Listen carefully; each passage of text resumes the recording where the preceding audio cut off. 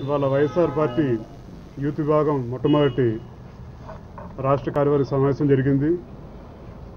ముందుగా ఇరవై ఆరో తారీఖున జగన్మోహన్ రెడ్డి గారు చేపట్టిన దీక్షకి స్పెషల్ స్టేటస్ కేటాయించాలని చెప్పని దీక్ష కూర్చుంటున్నారు. తిరుపతిలో రేపు మీటింగ్ పెట్టిన ఓ పక్కన చంద్రబాబు నాయుడు కావాలని చెప్పని పర్మిషన్ రద్దు చేపిస్తూ అంటే యువతని మబ్బు పెట్టించి ఎన్నికలప్పుడు మాత్రం నిరుద్యోగులందరికీ రెండు వేల రూపాయలు ఇస్తాను. లేదని చెప్పిన ప్రతి ఒక్కరు ఉద్యోగం ఇస్తానని చెప్పని చెప్పిన మాయ మాటలు చెప్పాడు. యువతను కేవలం మబ్బి పెట్టించడానికి యువత దగ్గర మా మెసేజ్ తీసుకెళ్ళనివ్వకుండా చేద్దామని చెప్పని దొంగ ప్రచారాలు చేస్తూ స్పెషల్ స్టేటస్ అవసరం లేదు. స్పెషల్ స్టేటస్ వల్ల ఒరిగేదంటూ ఏమీ లేదని చెప్పని స్పెషల్ ప్యాకేజ్ కావాలని చెప్పని చెప్పి అంటున్నాడు.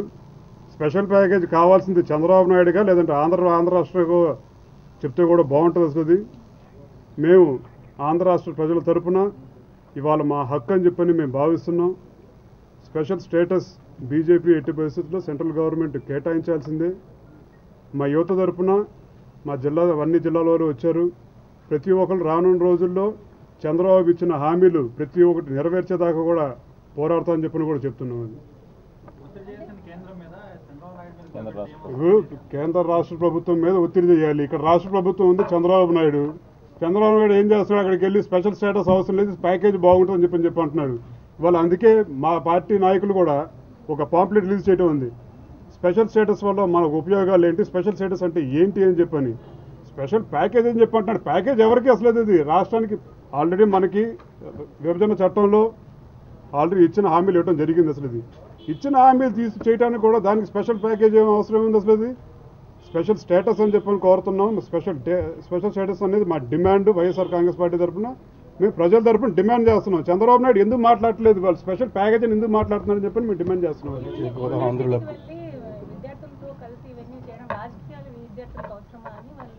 కాబట్టి విద్యార్థులతో కలిసి ఇవన్నీ చేయడం రాజకీయాలు విద్యార్థులకు అవసరమా అని వాళ్ళు అయ్యో కా- అయ్యో మరి ఇప్పుడు ఎన్నిక ఎన్నికల ముందేమో చంద్రబాబు నాయుడు యూనివర్సిటీలో మీటింగ్ పెట్టాడు. బాబు రావాలి బాబు వస్తే జాబ్ వస్తుంది అని చెప్పి అన్నాడు బాబు బాబు బాబు బాబు బాబు అని చెప్పాడు బాబు వచ్చాడు బాబు వచ్చాడు తప్ప యువత మాత్రం దోలు తీరిపోయింది మా అందరికి అసలు ఇది ఇది. దాని తప్ప ఉరికిందంటూ ఏమీ లేదు అసలు ఇది. ఇవాళ కొత్తగా ఏంటి ఇప్పుడు యువత రాష్ట్ర భవిష్యత్తు అని చెప్పని చెప్పి అంటున్నారు యువత దగ్గరికి మేము మెసేజ్ తీసుకెళ్దామని చెప్పని చెప్పి అంటున్నాం స్పెషల్ ప్యాకేజ్ స్పెషల్ స్టేటస్ వల్ల ఉపయోగాలు ఏంటి? మన రాష్ట్రానికి విభజన అయిన తర్వాత మన రాష్ట్రానికి ఉపయోగం ఏంటి అని చెప్పని మన ప్రజలందరికీ తీసుకెళ్దాం. యువతలందరూ ప్రతి యువత ప్రతి ఒక్కరు తీసుకెళ్ళాలి. విద్యార్థులు తీసుకెళ్ళాలి అని చెప్పి మా భావంతో ఒక రాజకీయం చేద్దాం అని చెప్పని చెప్పని కాదు. అది రాజకీయంగా మీరు భావిస్తే అది మీ కర్మ అది. లేదు మొత్తం అన్నిటికీ క్యాన్సిల్ చేశారని చెప్పని ఇచ్చారు అసలు ఇది క్యాన్సిల్ చేస్తున్నారంటే పొలిటికల్ పార్టీస్ వాళ్ళు చెప్పంటే ఎవరు మాట్లాడకూడదని చెప్పి చెప్పని అసలు ఇది రాజకీయ అమ్మ- అంశం కానీ కాదు అసలు ఇది. ఇవాళ ఇవాళ ప్రత్యేక హోదా దీని మీద జగన్మోహన్ రెడ్డి గారు పోరాడుతున్నారు. ఇవాళ మా ఆంధ్ర రాష్ట్ర ప్రజలందరూ హక్కు కింద మేము భావిస్తున్నాం కాబట్టి మేము ప్రజల తరపున పోరాడుతున్నాం.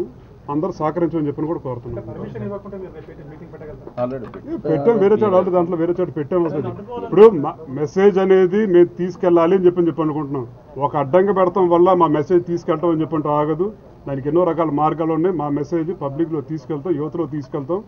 చంద్రబాబు నాయుడు ఎలాగ మోసం చేస్తున్నాడో ప్రజలందరూ కూడా చెప్పే బాధ్యత కూడా